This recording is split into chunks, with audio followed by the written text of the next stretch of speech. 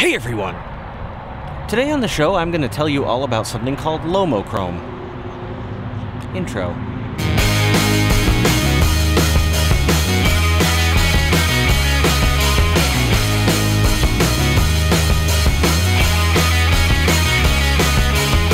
So, what's Lomochrome? Good question. Thank you for asking. Lomochrome is a type of film that was developed, I believe, in 2014 by the company Lomography, and it was designed to mimic the look, to a certain extent, of a film called Aerochrome. Now, you may be asking yourself, what's Aerochrome? Well, you can ask yourself that, but why not just ask me because I'm here and I'm more than willing to tell you what it is. Ah, I'm glad you asked. Aerochrome was a color infrared film that was used, uh, it was developed many years ago uh, by Kodak.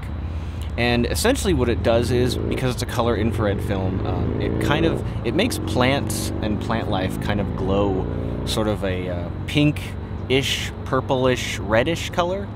And um, I think it was used by the military um, in some fashion, something to do with, um, you know, detecting something with plants. I don't know. It was used the, by the military in some way. I don't know.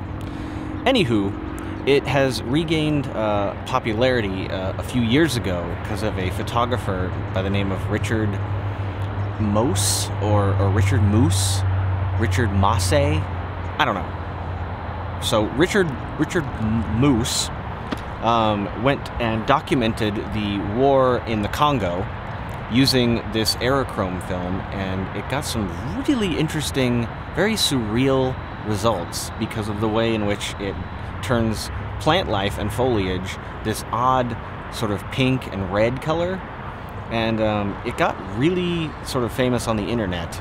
Um, and I remember when I first stumbled across it, it's extremely interesting. The, the photography is just amazing. The, the film is long discontinued and not very readily available. So this photographer used it and it kind of catapulted it into the spotlight and made everybody go, oh wow, that's really, really cool, and I would love to shoot with that, myself included. I saw the imagery and I thought, holy crap, where can I get a hold of some of this aerochrome? Well, it's not easy to get a hold of some aerochrome. It's pretty difficult, actually. And from what I understand, it's actually relatively difficult to shoot with um, because you have to keep it at a certain temperature and blah, blah, blah, blah, blah. So, anyways, Lomography saw that people wanted to shoot with this film and saw that they had no way to really do it. So they kind of did sort of a next best thing to bringing it back kind of a thing.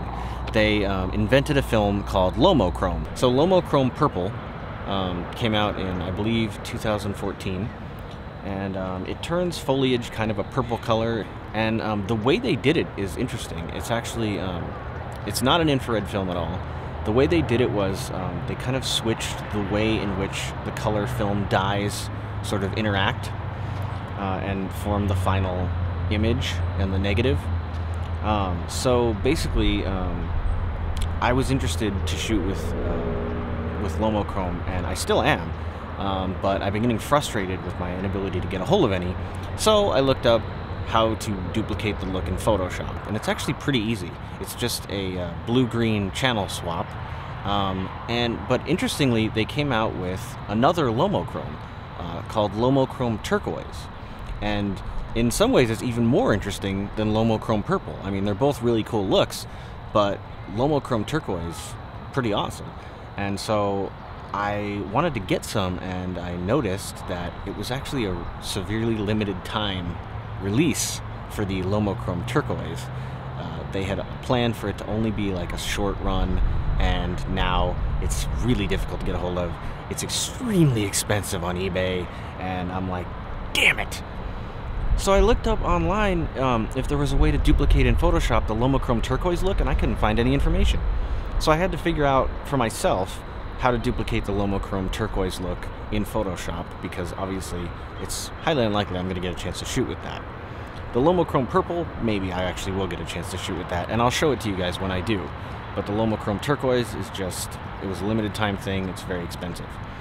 So um, I figured out that it must be a channel swap so I had to figure out which channels were swapped. Um, in this case, with the Lomochrome turquoise, it turns out that it is a red and blue channel swap. So the red and the blue channels are swapped. So I found that interesting, which made me think if they can do that, then couldn't they also do the one channel swap that they haven't done yet, which is red and green? And if they can, are they planning to?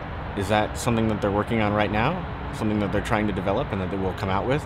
A Lomochrome as of yet to be named? Hmm, interesting. Okay, so we're in Photoshop. Um, I am shooting the screen with my camera. I have my camera on a tripod and I'm shooting the screen because I tried to use a software for screen capture called Cam Studio and it turns out that it is completely evil and even though it was recommended by other internet people on the internet, it is an evil software that puts viruses all over your computer. So I had to get rid of that and it's evil. Do not use Cam Studio, it is completely evil. Anywho, so anyways, here we are in Photoshop. And here is a picture of Guts Baby on some train tracks that I took recently with my Lomo LCA, which is a camera that I will that I that I actually plan to review in the near future. Um, so this was for my very first roll of film with the LCA, and I basically this is what the picture looked like, uh, this the straight scan, and then the only thing that I've done thus far in Photoshop is to boost the contrast. So, in order to duplicate the Lomochrome looks, I'm going to duplicate my layer again. And then I'm going to go to image and I'm going to do auto color because the color is completely off on this scan. So there we go. Okay, so that's more like it. So I'm going to then duplicate this again and again and again. Now this first duplication, I'm going to simulate the Lomochrome purple. In order to simulate the Lomochrome purple, all you have to do is go to Image, Adjustments, Channel Mixer.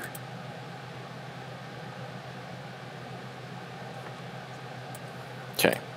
So what you basically do is you switch the blue and the green channels. So you go into the green, you take the 100% and you put it down to 0%. And then you change the input to. Then you go to the blue, change that to 0%. Change the green to 100%. And that's basically how you duplicate the Lomochrome purple look in Photoshop. Okay, so now that we've simulated the Lomochrome purple, the next one we're going to simulate is the Lomochrome turquoise, which is another film that I have not gotten to shoot with. So here we are in the channel mixer.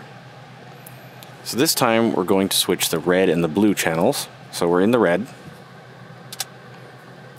Put in zero. Then we go down to the blue. Put in 100. Okay, then we go to the blue, and we put zero for that one. And then in the red, put 100%. And there you go. That's the Lomochrome turquoise look. Now, I am essentially going to go out on a limb and speculate because um, basically these are just channel swaps. So for the Lomochrome purple, we switched uh, the the green and the blue channels. And for the Lomochrome turquoise, we switched the red and the blue channels. Um, I think, I predict that Lomography is actually going to come out with a film that switches the red and the green channels because it's possible to do so, and so why wouldn't they go for it if they made the Lomochrome turquoise? So I'm actually predicting a film that doesn't exist yet that I'm assuming they're probably working on right now. So basically, here we are. We're in the red. Go to zero. The green. 100. Whoops. Did it too much. Did a thousand. That's not necessary. Okay. Then we go into the green. We go zero. And the red. 100.